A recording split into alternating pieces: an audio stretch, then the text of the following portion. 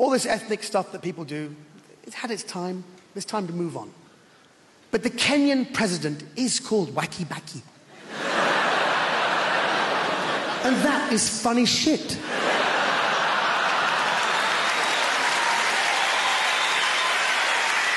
Look it up on Wikipedia. Kenyan President Wacky Backy.